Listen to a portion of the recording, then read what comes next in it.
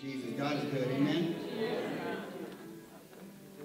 You know, I think that so many times we're so caught up with the neg- negativity that goes on in our life that we forget to thank God for the simple things that are so important to us. A lot of times people say you don't know what you got until it's gone.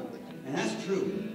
You don't know what you got until it's gone. A lot of times people want to shun hard times. People don't want to go through hard times.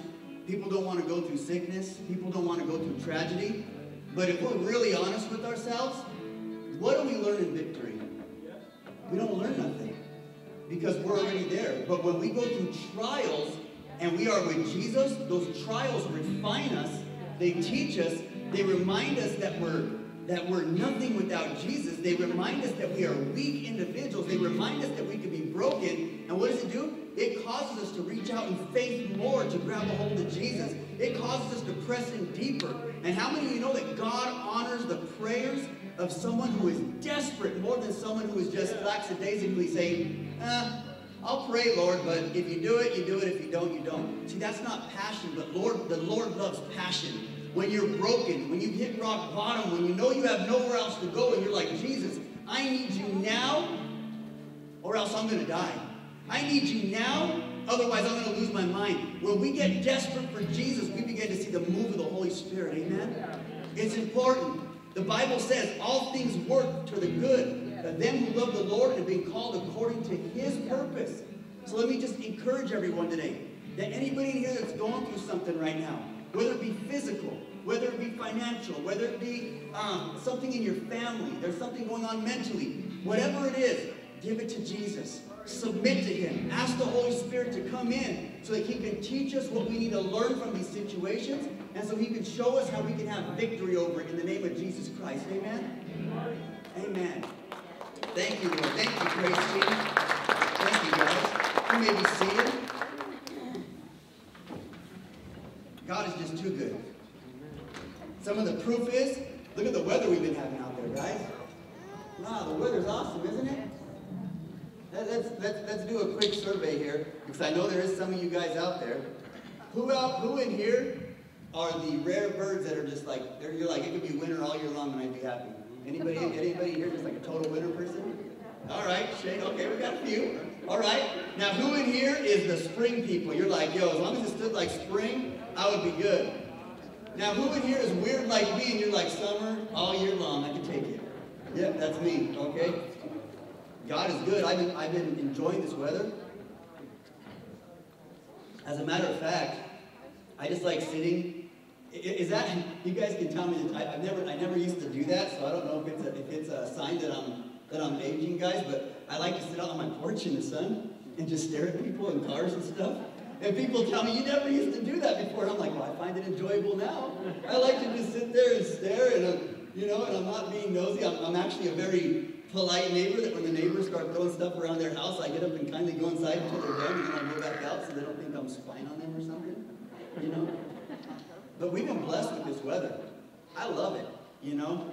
And uh, what a better time right now to go out there and begin to prepare things, begin to prepare our yards, we begin to prepare, prepare things for summer. And just like so, as we see seasons changing, it's always a reminder that it's time for us to prepare our hearts, to pray, to have the Holy Spirit prepare us for what's coming next, right? During the wintertime, is a lot, it's, a, it's a lot of staying inside. During this last year, it's been a lot of staying inside. And I honestly think that um, though uh, necessary in some, in some way, shape, or form, I think the quarantines have crushed people's spirits. There's a lot of depressed people out there. There's a lot of hurting people out there. There's a lot of people that have gotten so comfortable being at home and not going to church, not going to visit familia, not going out and volunteering in places where they used to volunteer, the food shelter, other places. You know what? We've got to get out of our comfort zone, right? If you're healthy enough, get out of your comfort zone. Begin to move in the Lord. Begin to let God use you. It's so important, man. It's so important we stay active for God because the more we stray away from doing what we do for the Lord, the more easy it is to get lazy and stay away. And then what happens? We begin to see decay in our spiritual life. Amen? That's all I'm going to say about that. But today, we're going to continue on week two of our Holy Spirit series.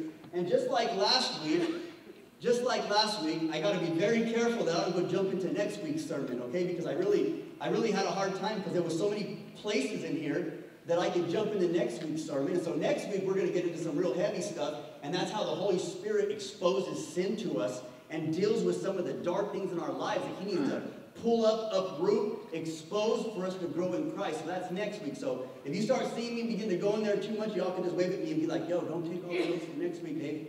Even though I think if we hear it twice, it's not a big deal, right? I think we all need it. Um, so today, we're going to read out of John, our, our main text is out of John 16, verse 12 through 15. You remember last week we shared a little bit about the Holy Spirit and a little bit about who he was and a little bit about how he how he was sent to be our comforter. Well, this week we're focusing on discernment. We're focusing on how he helps us and how he's here to lead us into truth in reference to studying your word, in reference to understanding the things of God. Amen. So if you have John 16, 12 through 15, say amen. Okay, we're going to read this. And this is, uh, he says, I still have many things to say to you, but you cannot bear them now. This is Jesus talking to the disciples. He said, I still have many things to say to you, but you cannot bear them now. However, when he, the Spirit of truth, notice what he calls the Holy Spirit right here. The Spirit of truth has come, he will guide you into all truth. For he will not speak on his own authority, but whatever he hears, he will speak. And he will tell you things to come. He will glorify me, and he will take of what is mine and declare it to you. All things that the Father has are mine. Therefore I said that he will take of mine and declare it to you. So we, right away we notice something really interesting in that verse is that is that the Holy Spirit is here. He, we read, like we read last week, He's our comforter, He's our helper. He, there's so many different functions that are there. But he, He's, Jesus told them right then and there, He said, there's some things that I need to share with you, but you're not ready for them. Okay? Now, of course, I cannot do this any kind of uh, justice as there's so many expository sermons that you could preach off of God's will and everything else. So I'm just giving you a very condensed idea. That way you can have a little bit of uh, foresight before we go into the rest of it. But Jesus was telling them, you don't know what's coming. You're not ready for it. So I'm sending you a helper that will prepare your hearts for it. Well, what was Jesus talking about? He was talking about what the disciples were going to go through. Because we know that all the disciples were martyred except for one, right? And that was that was John. That was the one that wrote the book of Revelation, right? And it's not that they didn't try to kill the guy. They tried to kill him twice. On two different occasions, they tried to kill John, but they couldn't. So what did they do? They kicked him to the island of Patmos to do hard labor until he died. Right? So I, I wouldn't say that, that he exactly had it easier than everyone else because he didn't. But he was there to fulfill what God needed him to fulfill, and that was to write the book of Revelation, to listen and to give the people the warning, to give the people what was coming. But Jesus said, You're not ready for this yet. So can you imagine if Jesus would have walked up to the disciples right at that moment? They had been with Jesus their whole life, or not their whole life, they'd been with Jesus for their whole ministry, and, uh, and they had seen so many miracles. They relied on Jesus, He was their leader. And of course, there's anxiety and everything because, because God, you know, they knew that Jesus was crucified, they knew what was going on. Can you imagine if he would have walked up and just like really just laid it out and been like, listen, Peter, you're going to be crucified upside down, right? And he just goes down the list. You're going to die a terrible death. Guys, you're going to get beaten to death, right? Uh, you're going to be stoned to death. You're going to be stoned to death, right? Stephen, you're going to be. Can you imagine if he would have just laid it out and just told everyone all the trials and the things that these guys, some of the guys might have been like, oh, Jesus, we didn't sign up for this. Right? So that's why Jesus said, I'll leave you a helper and he will lead you into all truth. He will help you. He will prepare your spirit to be able to go through what you go through. Why? Because our strength is in the Lord, right? It's not I can do all things through myself who strengthens me, or I can do all things through Oprah Winfrey, or I can do all things through my favorite talk show host, or this guy or that guy. It's I can do all things through Christ who gives me strength. It's Jesus Christ that gives us strength. And he uses his Holy Spirit to speak to us, to comfort us, to guide us. And so as he told them this, he leaves it. The Holy Spirit comes in, and we know how that works. We know that they're filled with the Holy Spirit. We know that, that, that uh, the Apostle Paul does his job, right? He begins to baptize people. They're filled with the Holy Spirit. We know that, that there's great moves of God that happen. But as they go on with their Christian walk, and as the Holy Spirit is in them, and guides them, their minds open up to what they're about to go through. What happens? When they hit those points of heavy persecution, or when they're, or when they're getting ready to go, they're ready. And they're not fearful. Why? Because Jesus is with them. They're filled with the Holy Spirit. You see, in our own flesh, can any of us be that strong? No. All of us, I can say that honestly, all of us would be scared out of our mind if someone, if someone came and said right now, listen, you're going to serve God and you're going to be bold for God, you're going to die in three years. They're going to kill you. A lot of people will be like, whoa, don't want to do it no more, don't want to serve God. But is God's will not greater than ours? You see, we want God to use us and we want to do the radical things for God and we want God to change our families, but we don't want to sacrifice. Lord, do all the good stuff and give us all your blessings, but I don't want to go through none of the pain. Well, that is totally unrealistic. If you want to serve Jesus, if you want to see God do miracles in your life, if you want to see God bless people and bring people to God, you need to know that you're going to go through turmoil. You need to know that you're going to be persecuted. You need to know that the enemy is going to come against you. But if you have the Holy Spirit inside of you, then you can be at comfort knowing that God is going to be with you every step of the way and that you're not by yourself. Listen, let me just say this, and I say it often, but let's be real. In a day and age where churches will sit there and they'll tell you about how, how blessed you're going to be and how rich God wants to make you and how this and how if you walk with God, you're going to walk in this, in this supernatural where you're never going to go through uh, sickness or listen, that's, maybe there's a few people that have the blessing of being able to go through that, but that's not it. If you're going to walk with Jesus, you're going to be persecuted. You're going to get beat. Your body's going to be battered and bruised. But guess what? This world is not our final destination. Right? We are strangers. We, what did Jesus say? We are not of this world. Right? He said that if we were of this world, they would have accepted us. But because we're not of this world, they will reject us just like they rejected him. And when it comes to pain, doesn't the Bible say that, are you greater than the master? Is a servant greater than the master? Well, the master was crucified, beaten, flesh hanging off of his back, beaten to an inch of his life, and crucified for our sins. What makes us think that we don't that, that we're not going to go through pain, that we're not going to go through sorrow? We need to be really realistic about what we do. Because every time I say this, and I, you guys hear me say this often, I always, I always say this, and, when, and to you guys, it's different because you guys know it. But when I say it to new crowds, it's always a, it's always a, uh, an interesting reaction because you always hear, how many of you guys would live for Jesus? Or how many of you guys would die for Jesus, right? And everyone's like, I'll die for Jesus. And I'll be like, how many of you guys live for Jesus right now? And the hands are down. We got to understand that God will bless you. God will heal you. God will bring you through situations. God will make you victorious. But it's going to be a battle. It, the, the, sooner that everybody gets the, the, the, the, the TV romanticizing of how ministry is out of their mind, the better off you're going to be. Oh, it's going to be great. I'm going to walk in such authority. Nothing's ever going to happen to me, and I'm going to conquer all, and everything's going to be handed to me. No, it's not. We're going to get out there, and we're going to plow those fields. And we're going to fall flat on our face at times. I will tell you guys that so many times, and to this day, I fall flat on my face because at times I lean on my own understanding. At times I get lost in Dave's opinion. And guess what? Dave's opinion doesn't matter to Jesus. Right? He listens to me in love, but the truth is the Word of God. That's the truth. And without the Word of God and without submitting to it fully, we cannot move in what we want. You see, we want everything to be easy with us. I don't, I don't exactly know when it started. Maybe Brother Amos and Brother Leonard, you guys remember when about what years the doctrine of prosperity started? I don't remember. It was a while back, and, that was that came along with the name and claim it movement and everything, to where it was God's going to bless you, bless you, bless you, bless you, bless you, bless you. Well, God desires to bless us more than we desire to be blessed, but we're going to go through stuff. I really want to hammer that home because so many people want to enter ministry and they don't realize you're going to sacrifice everything. You need to be willing to sacrifice everything. Right? And guess what? All of you are called to ministry. Pastor is just a title. I don't like titles. All of you are called to ministry. We're called to minister to those people that are at our job, our families, our families first, our friends, our neighbors. All of us have been given a little group of people that the Lord's like, get loose, cut loose. You can do it. Why? You know why? I can't reach them, but you can. You know why? You have a relationship with them. They already love you. They already trust you.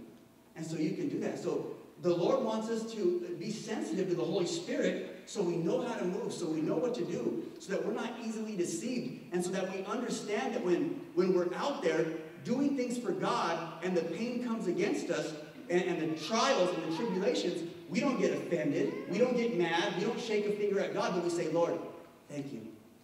Thank you, Jesus. Teach me what you're trying to teach me through this situation. Help me to learn, God. Humble me. I submit to you, God. If I'm doing something wrong and this is a form of chastisement, good Father, just show me.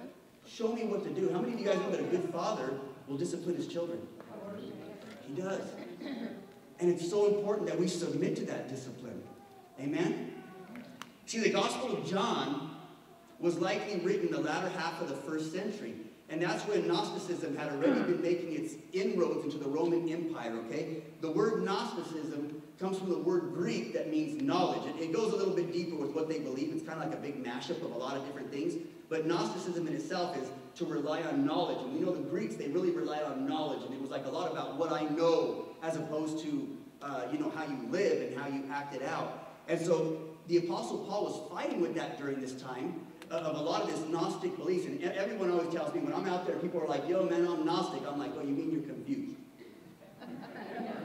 Because you can't believe in this and that, and I believe this God's working a little bit in this, and but I have knowledge, so I'm powerful. I'm like, well, if you don't have knowledge, what do you believe in if your knowledge is thrown all over the place? You either believe in something or you don't. Right? You either believe in Jesus or you don't. You don't say, well, I believe in Jesus, but I also got Buddha in my house and Hare Krishna. You, you can't. That's, that's, that is blasphemy at the highest form. You either serve who you serve or you don't. Uh, spoiler alert, the rest of the gods are dead. They're gone. Jesus Christ is alive. He's the only one. He is the way, the truth, and the life. And nobody comes to the Father unless it be by him. Amen? It's all about Jesus. And so many scholars believe that during this time when, when all these things are going on, that the Apostle John is pushing back at all these false beliefs. He's sharing what they told him to share, right? And we live in a time too, right now, where knowledge and data, right? We're just going to leave it at this. Knowledge and data are being used as weapons, are they not? Oh, yeah. People are taking knowledge and they're taking data and they are using them as weapons against other people. They're using them as weapons to bring forth a certain agenda or a certain ideology. And they're using it to overthrow things and to gain power in their own way. But how many of you know that God doesn't play that game? The will of God is always, it always trumps any other will. The will of God will always come through. You cannot stop the will of God, right? And so as people, as humans try to do these things, they don't realize that A, all they're doing is just cursing themselves. And they're cursing our country, right? The other day I had a very unique conversation with somebody, and it's scary to think about, but I, I, I sat with this person. They were preaching to the choir, man. And they were like, listen, I disagree with this in our country. I disagree with this. I'm not happy with this. And when is God going to do this? And when is God going to do that? And I'm like, pump the brakes. And I'm like, you realize God's going to deal with us in the church first, right? Before God deals with any crooked politicians or anything, God's going to deal with the church. Because the Bible says judgment starts where? In the house of God. In the house of the Lord. So God's going to look at the church first and say, where have you been responsible for allowing this stuff to creep in? Where have you been responsible for allowing false lies to be integrated into the church? Where have you been responsible for not speaking up as a church on certain things? We're going to be held responsible first. Why? God's children. A loving father would chastise his kids first. And then in love and mercy, he'll go out and he'll try to persuade those through his spirit. And those that don't listen, we know what happens. It's a, it's a choice. You're, you're away from God, and being away from God is a very dangerous thing. Because to be totally away from God and out of his covering is to be away from his promise of eternal life in heaven. Whether people like to hear it or not, there's two places. There's heaven and there's hell. And ultimately, we all make a decision where we go. But understand, the Holy Spirit as our comforter is here to lead us away from those decisions. And he's here to help lead us away from our, to save us from ourselves, right? As we listen to what the, what the Lord is, what Jesus is telling him to reveal to us. As we listen to the Holy Spirit, he guides us in a path that takes us away from all those pitfalls so that we can keep going towards Jesus. Because to get lost in ourselves To get lost in hyper movements, to get lost in opinion, is a very dangerous thing. Too many churches today think, oh, well, I, I know this and I know that knowledge. It's the same as Gnosticism, like I said. You have pastors that are like, I know this and I know this and I've done this for so long. Worthless if we're not walking in Jesus. It's worth, God can raise up a drug addict on the corner that could outpreach any preacher in Denver at a drop of a dime. Right? It's just like the parable of those who go out and work the vineyard. And one goes out and works, and he, he starts 11 hours earlier. The other one starts two hours. They all get paid the same. You understand that as we all come to the Lord and do our part, God's not setting up a hierarchy like, yeah, brother, you've been here for 50 years. You're a CEO of my kingdom. You No, no, no. We all come in equal, the same in the Lord, and we all receive the same reward as we begin to walk forward in God, right? Because He's a faithful God. He's a loving God. He's a fair God. And let me just tell you something. Any gift that God gives you is a grand gift indeed. I don't believe heaven has any bad sides. Okay? Heaven is beautiful. But I will say that it's going to be very hard to get to heaven if we keep quenching the Holy Spirit and if we're not sensitive to Him. It's very hard. Why? Because so many things get in the way. Pride, religiosity, all kinds of things, false movements, false doctrines. A lot of stuff gets in the way and it can keep us from going to heaven because we think we know, but we don't. You know how many people I talk to and they're like, and they're like, yeah, I don't need to read the Bible and I don't need to do none of that stuff. Me and God have an understanding. I'm like, no. No, you don't have an understanding with God. Because if you understood God, he tells us to read his word to study it. You guys remember last week? What did the word say? Last week it said that if you love me, obey my commandments. So how do you know how to obey his commandments? Because we study them and we read them. If we don't study the word of God, then we don't know what God expects from us. Right? Moving along. It's so important that we allow the Holy Spirit to come in and to move us into truth but not truth that we use to manipulate people or hold power over people. I said this the other day. A real leader doesn't sit back and, and bark orders at people and say do this and do that and then get mad when things don't go their way and stuff and hold grudges. That's not what a real leader does. A real leader will jump down with the people and just work with them. Let's do it. I'll do it with you. Let's go. A real leader knows how to go through what the people have gone through and walk with them so that we can all be on level ground. Amen? And so many times, many people will, will read the word void of the Holy Spirit. And how many of you know someone can be book smart? They can be very book smart, but they can lack a common sense. Do you guys know anybody that's like that? They're very smart, but yet when it comes to common sense, it's like, you can't figure that out. It's like simple, right? Just like that, in the same way, a lot of people know the Word of God, but void of the Holy Spirit, they don't know the truth and the meat of what God's trying to tell them. You can quote scriptures till you're blue in the face, but if you're quoting them out of context, then it doesn't matter. You read them, you pray, you allow the Holy Spirit to lead you. That way you're getting what God wants for you, and you're not just, you're not just trying to create your own concoction. See, the Holy Spirit's role is to glorify the Son, receiving the Son's word and disclosing it to their followers. The issue is that many times we move, we move our own saying. We, we say that, we start to move on our own and we say, God, this is from you. I know it's from you, God. But in reality, it's based off of wants and it's based off of emotions. Is God really telling you to do that? The proof is always in time because time will show you that you made a mistake and then things fall apart or things will work out for the glory of them who love the Lord. Again, are we being led by the Holy Spirit or are we being led by emotions? Two totally different things. Very dangerous if you don't know how to decipher the two.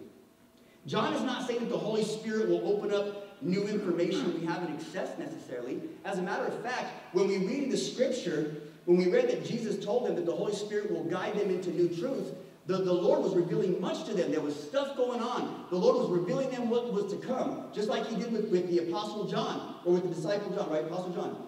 Just like they did with him, the Lord revealed the book of Revelation and all kinds of things, things that he couldn't even understand at the time. That's how come when you read Revelation, sometimes you're like, what's going on here? Can you imagine the things that God was showing him in the future? How does a man that lives back in that time understand what's going on in today, it would be horrifying. It would be hard to understand. Right? They didn't have Google. He couldn't just Google it and say, what are they talking about? They didn't have TV. They didn't have anything. They had donkeys. They had slippers. They had, there was nothing. But God revealed to them. So God revealed to them much things. And today, God reveals stuff to his prophets still. There's still men and women, I believe, that are called to be prophets. God reveals to them and he shows them stuff. But most of what the Holy Spirit is here to reveal to us is the Word of God. As we read the Word of God, he takes us into a deeper knowledge. He takes us into a deeper understanding, right? Things that we that we misinterpreted before because of our emotions, the Lord changes them. The Holy Spirit changes them and softens our heart so we can accept them as loving words from the Father and understand what He's trying to tell us. What do I mean? If you're an alcoholic and I'm preaching about and I'm preaching about alcoholism, you're going to get offended because of the emotions, because of the flesh. You're like, whoa, I don't want to hear that, whatever. But as the Holy Spirit moves in you, you begin to understand that more. And you're like, Lord, I get it. I understand it now by your word. If you're a gossiper and someone preaches about gospel, a lot of times that offense rises up and you're like, ooh, I don't want to hear that. And are you talking about me? And con- the devil begins to put condemnation on you. But no, if you are filled with the Holy Spirit, the Lord begins to work on you and you begin to have conviction of the Holy Spirit. And you're like, Lord, this isn't right. Lord, help me to get over this. Any, anybody here dealing with something where you're like, Lord, please help me to conquer this, God. Help me to conquer this. I'm fighting with this. I, I don't like it, right? We have to be honest with God. We have to be honest with the Holy Spirit. And we have to, we have to do our best not to quench him, right? It's crazy. The Holy Spirit is there to help us, to guide us in understanding of the scriptures. But there's an image that comes to mind when I think about the Holy Spirit. Any dad, any dads in here, or I know that today that a lot of dads are not present in their kids' life, but any dads or moms teach their kids to ride a bike? Can you raise your hand? Right? You teach your kids to ride a bike. And so uh, I remember my dad in Loveland, Colorado, holding my bike, going down a cul-de-sac, and I remember our big dog Bear getting out of the house, and he began to chase me, and as my dad was holding on to the, the seat, I began to pedal really fast, but I didn't know how to stop yet. So I just went as fast as I could to the end of the cul-de-sac and just did a big old flip on the curb. Right? I needed that guidance. But what do you do? Whether you're teaching your kids how to ride a bike or how to swim, you guys know the drill, right? You hold the seat and you walk with them, and though they're shaky and they're going everywhere, they're gaining confidence little by little. And you walk with them and you hold them and you keep them in line, right? And the more that you do it, the better they get. Until there's a point that they're just like, they're like, okay, we got this, Dad, we're good. And what happens? Dad steps off and he just he, he runs by them to make sure that they're okay, but they begin to move. That's what the Holy Spirit does for us. As we read the Word and as we pray and as we grow in the Lord, the Holy Spirit is there to help us and to guide us. That way, when we begin to get shaky in our understanding or in our word, the Holy Spirit is there to straighten us out and make sure that we don't fall. Now, in the process of growing in Christianity, we fall, don't we? We learn things. From, from the time that I first started really getting serious with God to now, I can tell you I've made so many mistakes where I thought that it, one thing was this way, and then the Lord slaps me around and he's like, you were totally wrong, dude. Puts me flat on my face he's like, that's the way you gotta go. And then you get running that way and what happens? We begin to lean on our own understanding, our own emotions, and everything else. And then we begin to go the wrong way again. The Lord puts us flat on our face again. He's like, no, that's not the way I told you to go. I told you to run this way. And that's why it's so important that we have the Holy Spirit we submit. Because it's easy for a Christian to run the wrong direction their whole life, the wrong calling they think God gave them, to run the wrong uh, decisions they think God told them, and it just causes damage and sets them back from where God wanted to bless them, where God wanted to take them. If only we would just submit, be patient, not jump around to everything, but say, Lord, just guide me. I listen to your Holy Spirit. Guide me, lead me, hold me. I trust you. That's not, that's not, that's not a very popular thing in today's day and age. To say, let's be patient in God, let's just roll with it and trust you. Because we live in a microwave generation where everyone wants satisfaction very quick. Lord, I, Lord, I've been praying for two months. Show me what I got to do. Well, there's some people that have been praying for five years. There's some people that have been praying for 15 years and God didn't show them what to do. Lest I remind you of Joseph and Moses and others who waited 40 years to accomplish what they had to accomplish. It's about being steady. It's about being faithful. It's about staying the course, and it's about trusting God. Because if you trust God, you don't put a time limit on how he's going to work with you and when he's going to work with you.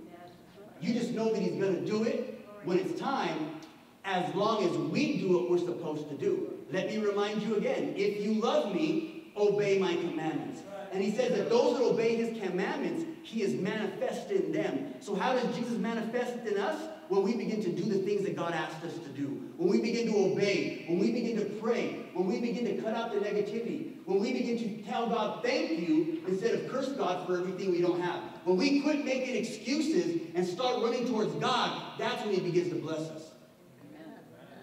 The Holy Spirit will move in us. It's time for us to quit telling God how massive our problems are, and it's time for you to believe that your God is bigger than your problems. It's time for us to believe that God can conquer anything in our life if we set our mind to it, be filled with the Holy Spirit and move in it. God will give us victory. We don't need to be Christian orphans. We don't need to be walking around as disabled Christians. Because God has given us the power to overcome and be conquerors and move out there and do what we got to do in our life. Here's the problem. Most Christians don't want to put in the work, but they want to reap the blessings. Most Christians, most Christians want to see the church grow, but no one wants to put in the work. Most Christians want to see their kids saved, but we don't want to put in the right parenting to make sure that we give them the right foundation. Most Christians want to see their marriages flourish, but most people don't want to put in the time to work on that marriage to make sure it works right. Most Christians want to grow in their speaking ability. Most Christians want to grow in their understanding of the Bible, but we don't have time to study. But we sure have time to flip through our phones, don't we? We sure have time to watch Netflix for hours on end, don't we? I'll tell you what, without the Word of God, you guys, we're lost. Without the Word of God, we can't make it. Romans 8, 26 through 27. I'm going to read this.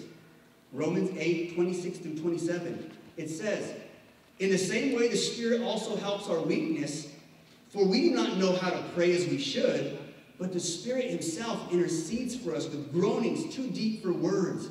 He who searches the hearts knows the mind of the Spirit, because He intercedes for the saints according to the will of God. Listen to that. When, the, when you are filled with the Holy Spirit, and when the Holy Spirit is just working on your behalf, he is groaning out to God. And it says it's words that are too deep, right? He knows, he knows you. He knows what you're going through. Right? He knows, Chad, what you're going through. He knows what you need. And so he that, that deep feeling that you feel. Have you ever felt, bro, like no one understands? That you're like, dude, I'm hurting so bad, bro, and no one gets it. He knows that deep groaning in your heart for help. And so he's there before the Lord, like, Lord, Chad needs you. Please help him, God. I beg you. In the most deep, deep, deep, sincerest way, the Holy Spirit is there to intercede on our behalf. Right? He's there for us. He intercedes for us.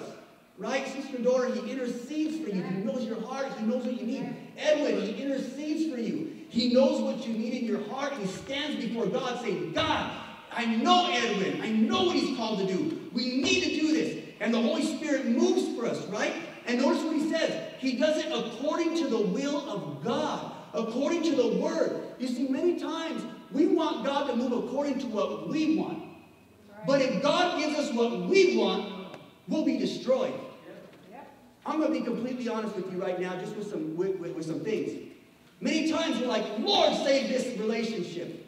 God, save this. Please make it work. And the Lord says, You're not even married and you're having sex. How can I save something that's not even under my name and under my blood? Oh, amen. Amen. Lord, please save me. Save this job. Help me out with this, God. Help me not to lose this. And the Lord says, How have you been with your money? Where have you given your money? Out at the bars or out doing this or that? He's like, and you haven't sown nothing to the kingdom. You pass by the homeless guy, but you won't pass by the liquor store. How do you want me to bless you there? You see, it's all about understanding what God has given us, submitting to it. It says, in all things that we do, we honor God, right? In our jobs, we honor God. The Holy Spirit is in us to, to help us to have that understanding to say, God, thank you. And yes, we all complain, right? We all complain. I know it's natural. It happens. But I'll tell you what, The next time you want to complain about your job, thank God that you have a job, because finding a job in Colorado is hard right now. That's right. Anybody who has a good job in Colorado, you better hold on to it. Yeah. Right? We want to complain about our jobs, but we don't want to thank God for that and say, Lord, just use it. We want to complain about what we have, but the Lord's like, you, you don't even you don't even cherish me with what you have and honor me with what you have. How can I bless you with more if you don't even thank me with what you have? Trust me, I'm talking to myself here too, guys. We need to open up our eyes and say, Lord, we're too blessed. In America, we have too much. In America, we've been given too much. We're crybabies. Right? And then a little bit of persecution starts to kick up and people lose their minds. Let me tell you something, you guys. It's going to get worse. I've been saying this for months. It's going to get worse. Your relationship with Jesus and, and, and your relationship being filled with the Holy Spirit is going to determine whether you walk with your head high in the power of Christ or whether you're going to get ran rushed-out all over by Satan. Let me tell you, it's not God's desire that anybody in here get run over. But guess what? It's your choice. It's my choice if we want to allow the enemy to destroy us. 1 Corinthians 12, 7 through 11 says, and this is how the Holy Spirit moves. This is how the Holy Spirit gives gifts. This is how the Holy Spirit works. It says, But to each one is given the manifestation of the Spirit for the common good. For to one is given the word of wisdom through the Spirit, and to another the word of knowledge according to the same Spirit, and to another faith by the same Spirit, and to another gifts of healing by the one Spirit, and to another the effecting of miracles, and to another prophecy, and to another distinguishing of spirits, discernment, and to another various kinds of tongues, and to another interpretation of tongues.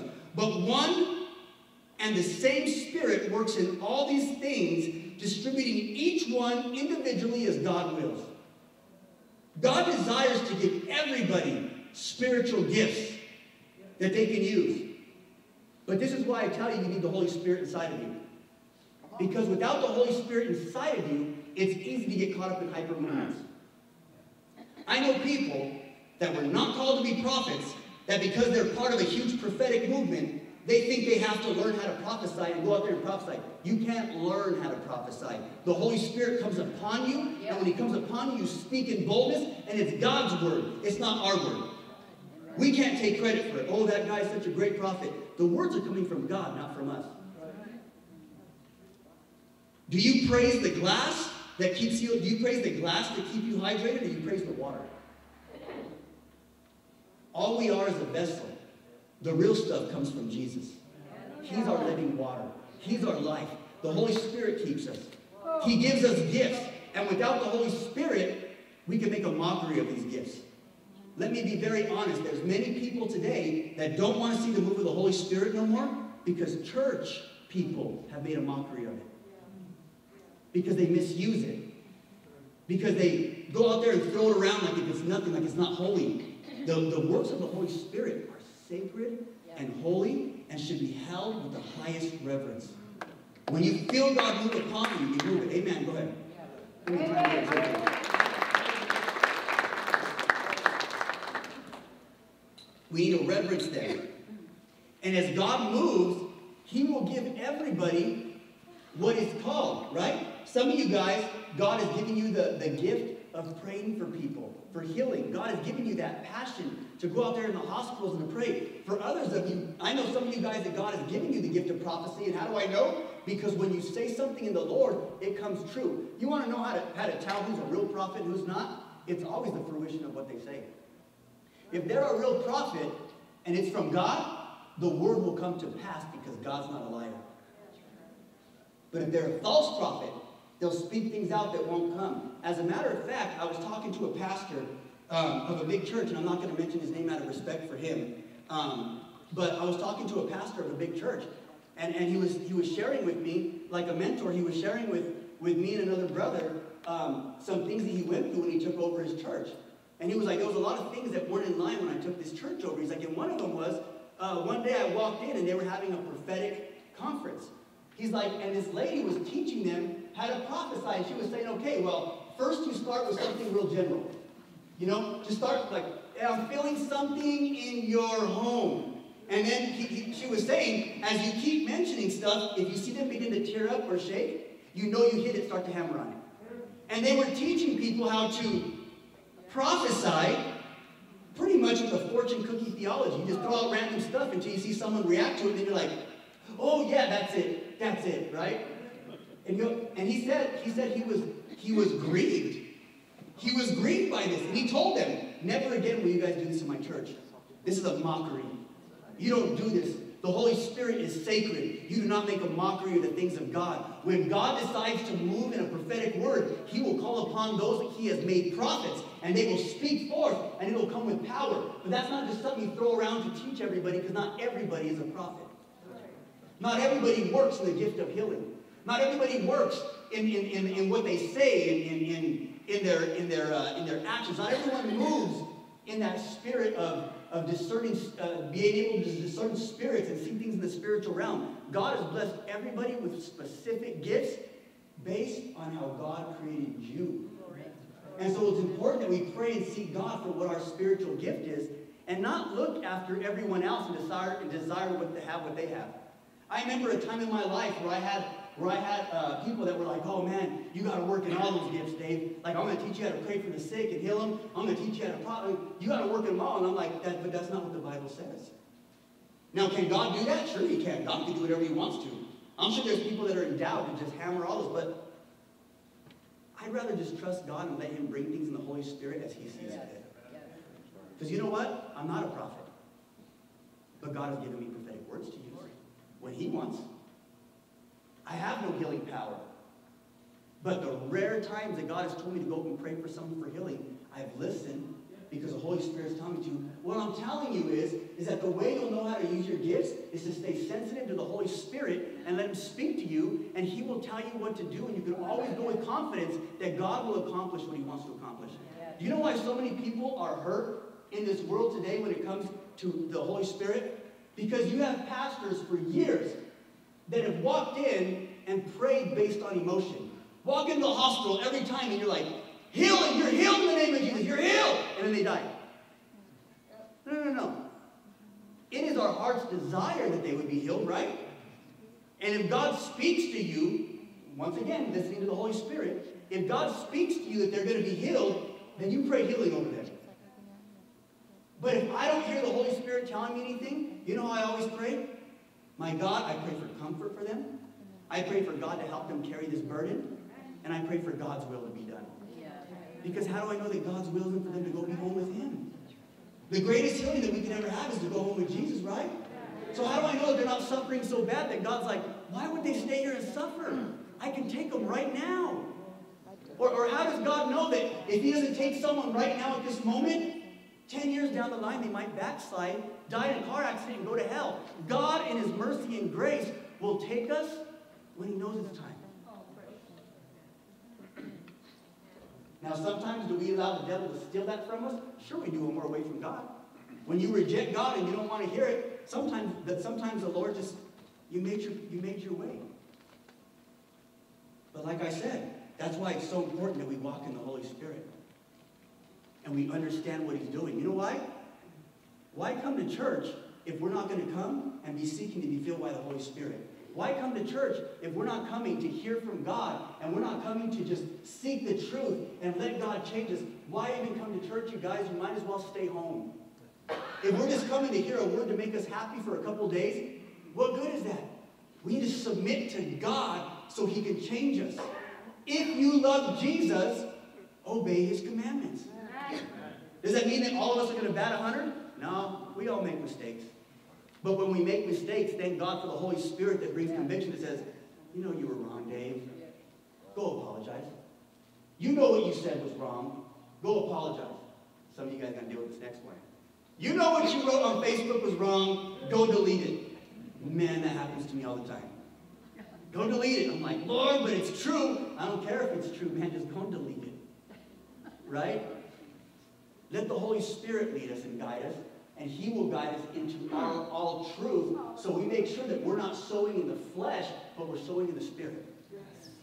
Because to sow in the flesh, we're never going to get anything from that. Okay, very quickly. Very quickly here. The helper leads us into an honest communion with God. Similar to how we have communion, we want open communication between children and parents. Listen, how difficult is it for a parent to hear from a child and the child tells the parent how the parent has hurt him and what the parent has done to them and this and then what, what happens? The parent in their authority right away wants to make excuses, put their foot down, shut up the child, right? And, and not listen at times. I've been guilty. Has anybody else been guilty of that or am I the only one in here? Right?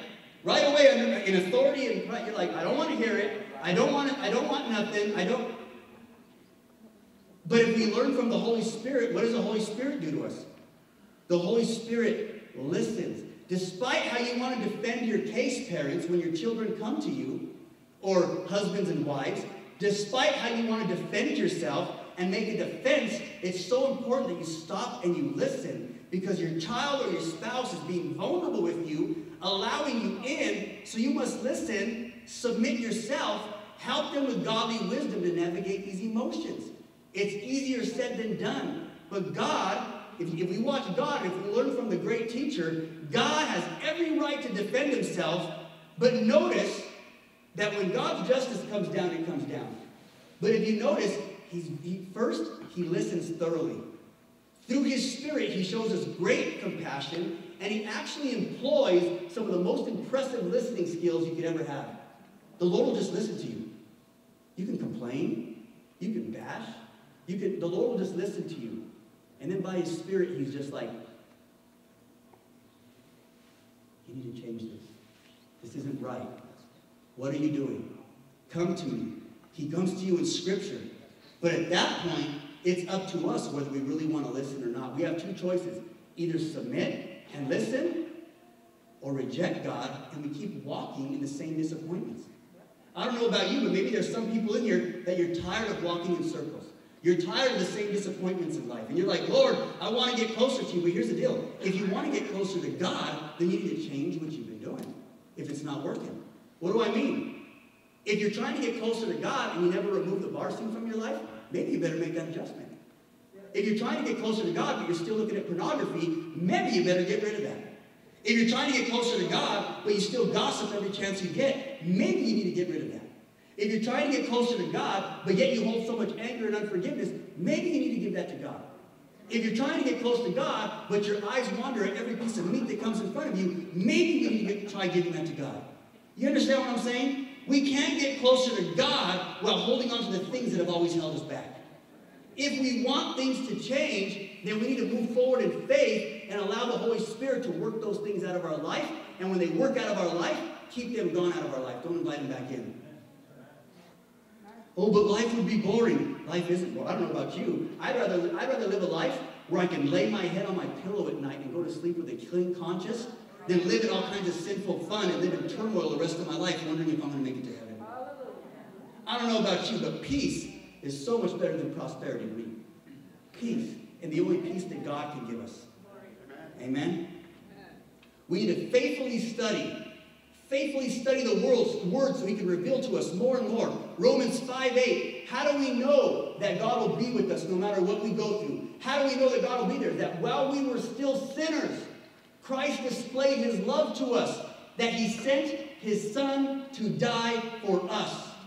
While we were still sinners, God sent his son to die for us. How many of you in here right now, think about it honestly, how many of you right now would send your child to get murdered brutally for a stranger?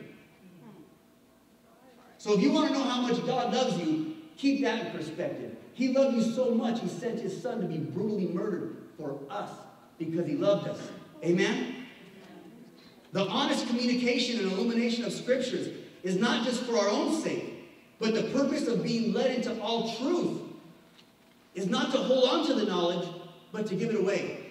If you are reading your word in here and you're praying and God is moving in you, it's not for you just to keep it in your own home, in your own heart, and never give it away. God gives you that knowledge so you can go out, so we can go out there and share with people, share with family, share with our coworkers, yeah. share the love of Jesus. Because if we don't share with them, how will they ever know? That's right. That's right. And I promise you one thing: the more you pour out and go back to God, He's faithful to fill you.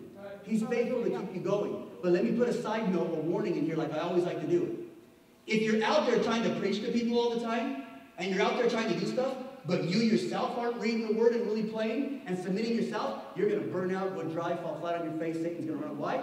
Because you're not doing what you're telling them to do. Don't tell people to give their life to God if you can't even give your life to God. Don't tell people to be faithful with their, with their money and faithful with this and that if you can't even be faithful with your stuff. Don't, don't, don't go and counsel people to be faithful in their marriage if you can't even be faithful in your marriage. Don't go and tell people how to raise their kids if you're failing your own children. You know what I'm saying? It's up to us to be real and allow the Holy Spirit to have us look in that spiritual mirror and say, Lord, where am I failing? Where am I failing? Right? We can do this all we want to. But the reality of it is, we look in the mirror and we say, God, where am I failing? Because who does it start with? It's us. We need to become the change we desire to see. Well, I want to see this in the church. Okay, get active and do it then. Help out. Well, I want to do this. I want to see this happen. Okay, get active. Do it then. Don't wait for other people. Get active. Be the change that you desire to see. Very quickly, as the praise team makes their way up here. 2 Corinthians 3.14 The grace of the Lord Jesus Christ and the love of God and the communion of the Holy Spirit be with you all. Amen. Paul ends his prayer noticing, putting emphasis on communion with the Holy Spirit. It's important that we have communion with the Holy Spirit. It's important that we love on God. It's important that we invite him in. It's important that when we're praying, we're like, Lord, Jesus, show me how, you're, how I'm quenching the Holy Spirit. Show me what I got to do so I can hear him more. Remove distractions from my life, right? John 14, 26. But the Helper, the Holy Spirit, whom the Father will send in my name, he will teach you all things and will bring to your remembrance things that I have said. If you really want to get good at scripture memory and you really want to get good at remembering what you read in the Bible, be filled by the Holy Spirit and he'll help you remember, I promise. I don't know about you guys, but I got I have a hard time remembering stuff, so I have to pray and ask God to remind me. Is there anybody else here that walks down the stairs already and you stand in the kitchen and you're like, what did I come down here for? Is that happening to anybody else? I'll tell you what. Yeah, I was going to say something. We won't go there. Okay? Luke 12, 11 through 12. Okay? Now, when they bring you to the synagogues and magistrates and authorities, do not worry about how you about how you should answer or what you should say, for the Holy Spirit will teach you in that very hour what to say. So the Holy Spirit is our helper. He leads us, and as we pray and as we read the Word, we don't need to worry so much about performance. Listen, Christianity is not a performance-based lifestyle. Christianity is about trusting in God. And when you go before someone prayed up, you can trust the Holy Spirit will give you the right words. I've told this to lots of people before, but I'll continue to tell you. Every Sunday before I come to church, it doesn't matter how long I've done this, every Sunday before I come to church, I am afraid. And I'm like, Lord, I'm nervous. God, I don't want to say the wrong thing. Lord, help me to understand this right. As soon as you get in that mode and you begin to pray, the Holy Spirit takes over. And you get a boldness that's not your own, but it's a boldness from the Holy Spirit where God is like, I will lead you and guide you. Know that God will guide what you say, I promise you. If you're going to pray for someone, you're like, I don't know what to do. Submit yourself to the Holy Spirit and let Him guide you, and He will guide you on what you need to say. Right? We don't need to fabricate stuff to get amens. We don't need to fabricate stuff to make a church grow. We don't need to fabricate stuff to make ourselves look holier. All we need to do is listen to the Holy Spirit, and by God's power, He will display who our God really is. And that's the God of Abraham, Isaac, and Jacob. That's the God that sent His Son to die for us. And that's the God who is and was and is to come. He is the great I am. He is the one that will conquer, that has conquered Satan already, and He's the one that's coming back soon. Are we ready to receive Him as His bride? We need the Holy Spirit in our, in our very depths of our being if we are going to survive what's coming. Many people are waiting for a Cinderella story.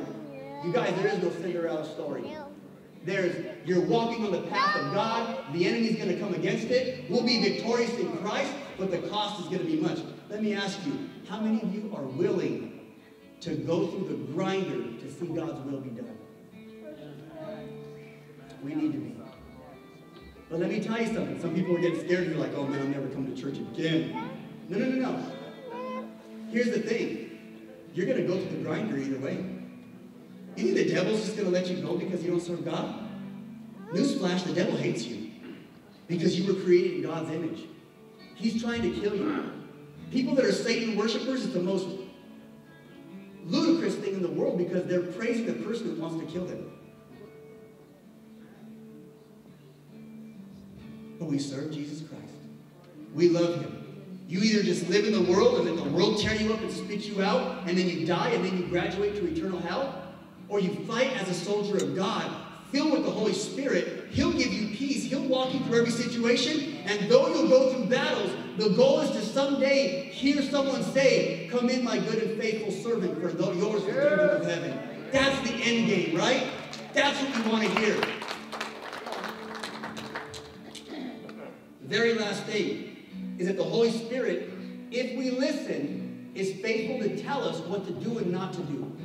This is very important because in our Christian walk, many times we're like, anything that has to do with God is going to be a good thing. So I'm not going to even pray about it. I'm going to go to San Antonio and preach on the streets, and I'm going to go over here, and I'm going to go to the bars. And you haven't prayed about it. You haven't fasted. You haven't brought it to God.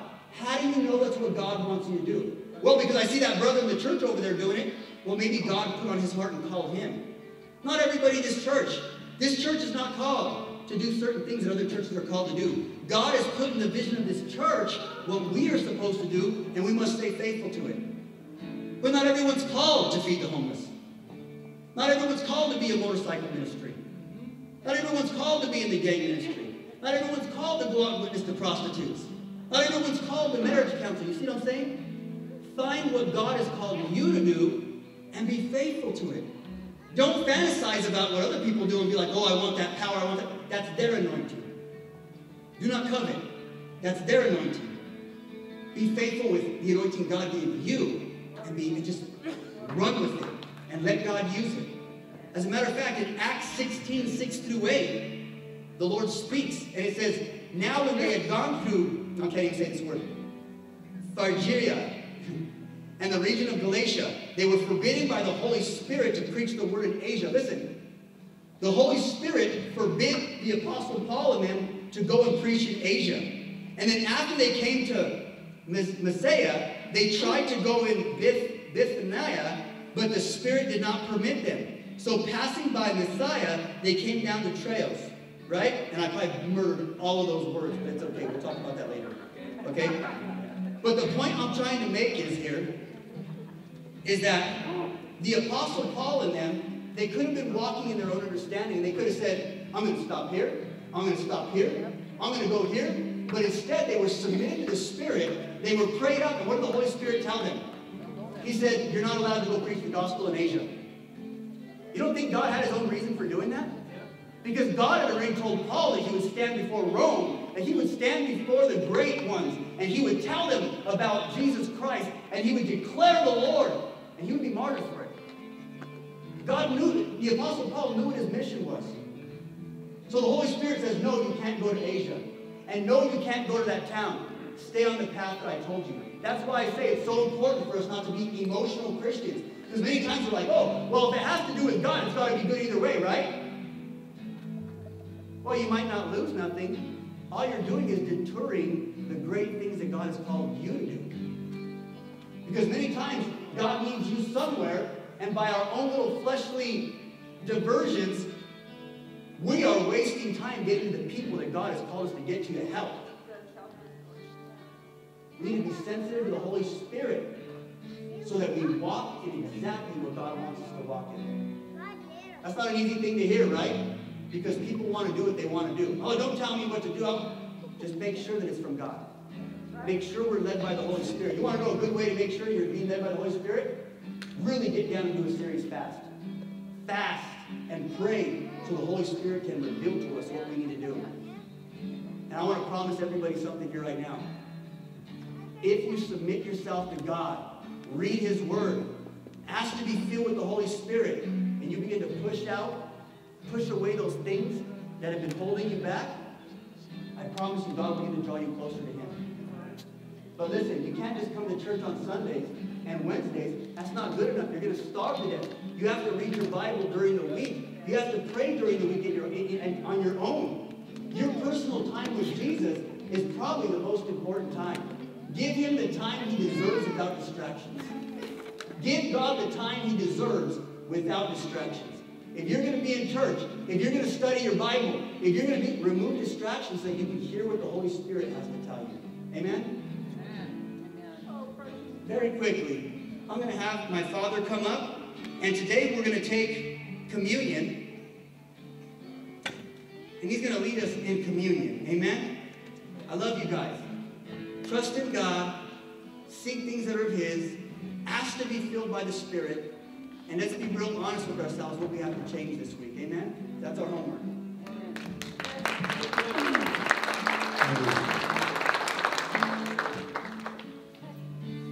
Many years ago, as a presbyter for the San Luis Valley in the Assemblies of God,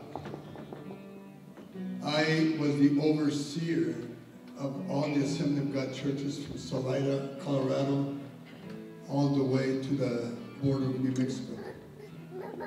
And uh, had a very good friend there by the name of Gil Lucero. Daughter's here today. Sister Lucero, would you stand? God bless you. God bless you. Uh, David. David. She found us on Facebook, on Google, and uh, she's going to be a regular. Praise God. Communion. Christians, listen very close, Christians partake of communion in remembrance of the blood and the body, the body and the blood of Jesus, which was poured out at the cross. Let me repeat that, because most Christians don't even understand what communion is about. The Bible says that Christians partake of Holy Communion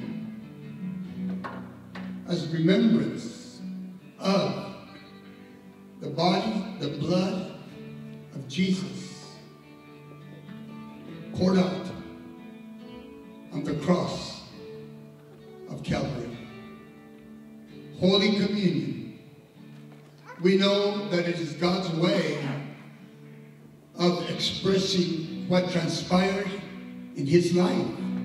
The hurt, the pain that he went through to purchase our eternity. He is truly a friend that sticks closer than a brother. But that wasn't all. He also poured himself out to express his love for us. His love for us. So those that are going to, that's our communion, would you come? Praise God.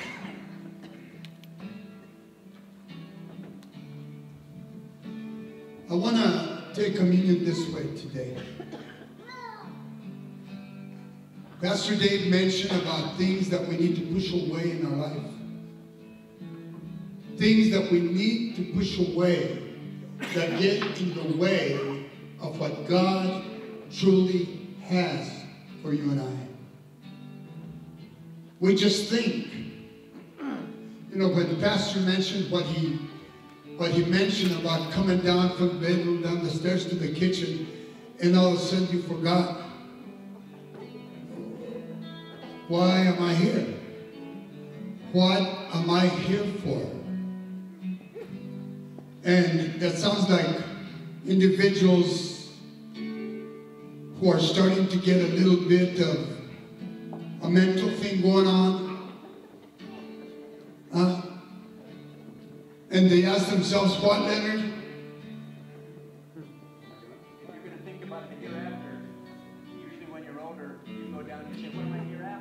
Yeah.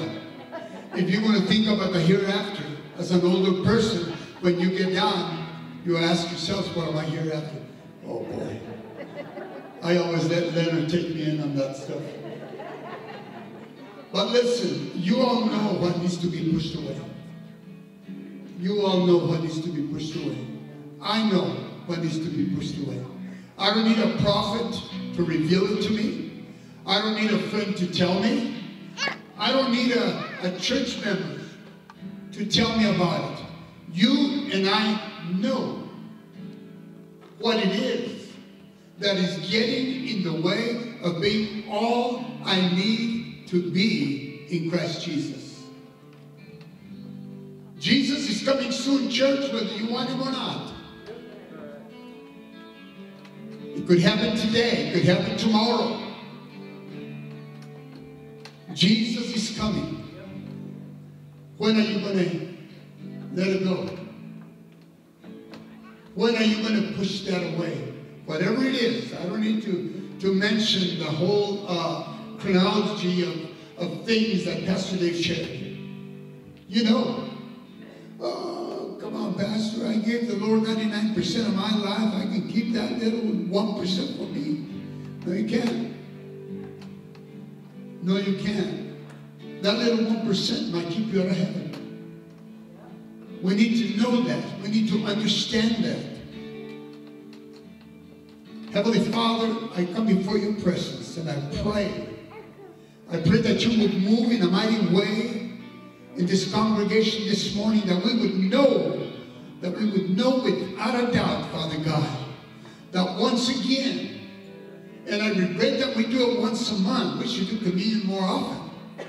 But Father God, once a month we have the opportunity, the privilege, Lord God, to put those things away that continue to get in the way. And Father God, I bind the enemy in the name of Jesus. The enemy that deceives us into thinking that we need that thing, that we need that habit, that we need that thing that we do. Father God, in the name of Jesus, I pray that we would push away today as we come forward and take communion and truly appreciate the significance of communion in my life as a believer. And I want you to use that taking of communion today to tell the Lord, take this habit from me, Father. Take this sin from my life. Take, Father God, whatever attitude that I need to get rid of, whatever sin I need to get rid of, whatever attitude, oh God, I need to get rid of, whatever addiction, Father, that is in the way, Father God, whatever lifestyle, whatever thing, Father God, it is that is in the way, I ask, Father God, as I take communion today, I make a commitment to release it to you in the name of Jesus.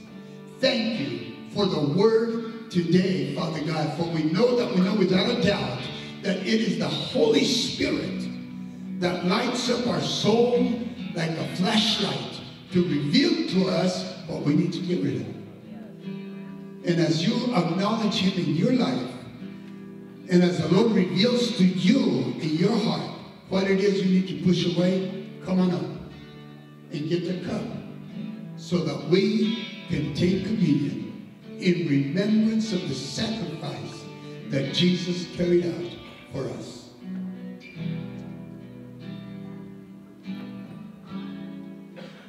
Oh.